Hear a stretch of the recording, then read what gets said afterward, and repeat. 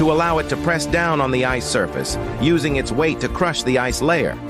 However, to maintain continuous ice breaking, more fuel is needed to provide power.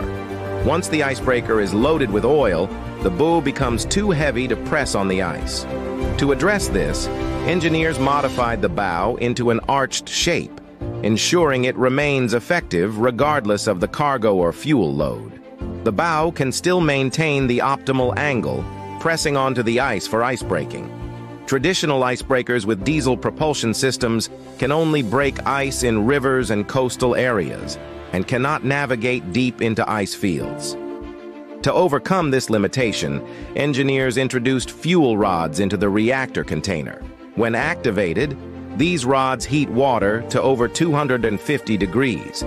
The boiling water enters the heat exchanger, producing steam, which then flows through pipes into